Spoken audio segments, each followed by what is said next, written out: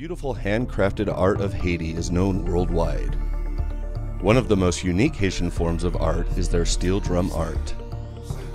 This exquisite art is made from recycled metal drums, once used for transporting oil or other products. These drums are purchased and brought, sometimes by handcart, to the metal artisan's workshop.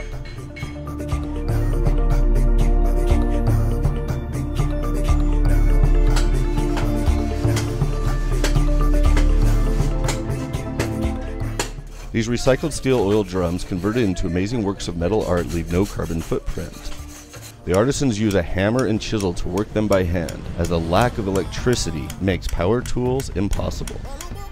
The result is the greenest of green art and an entirely unique keepsake.